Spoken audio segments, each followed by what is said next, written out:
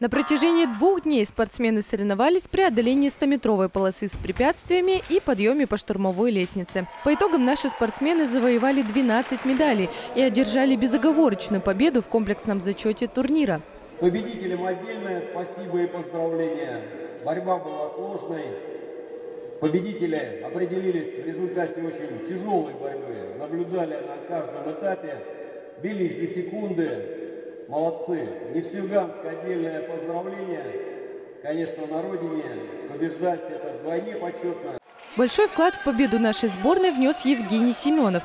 Мужчина выиграл во всех дисциплинах. Напомню, в этом году на чемпионате России по пожарно-спасательному спорту нефтьюгансу совсем немного не хватило, чтобы побить мировой рекорд. Год прошел просто, наверное, супер удачный. То есть и мы и общекомандные, и на зимнем выступили хорошо, и на летнем первые места, и я в личном тоже призовые места занял. Вот. То есть тут самый удачный, самый суперский год был. И сегодня в этом, э, в этом месяце на этих соревнованиях выступил. э, Два первых места занял. Это аб- абсолютный чемпион получается. Также одним из приятных и значимых поводов для поздравления и вручения наград стал юбилей сборной команды нашего региона. В этом году ей исполнилось 20 лет. На церемонии награждения отметили тех, кто внес неоценимый вклад в развитие и становление пожарно-спасательного спорта в Югре. высоких спортивных достижений.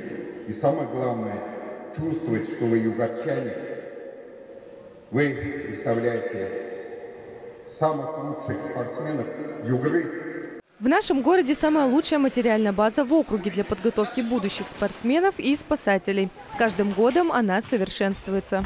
Немаловажным э, оказывается поддержка э, Федерации пожарно-спасательного спорта Ханты-Мансийского автономного округа Югры. В этом году мы поставили тахометрическое оборудование, которое позволяет э, значительно э, качественнее и быстрее проводить соревнования. Быстрее проходят, участники не ждут, быстро выходят на старт, готовятся, все автоматически передается э, в аппарат судейского органа, быстро подводятся результаты.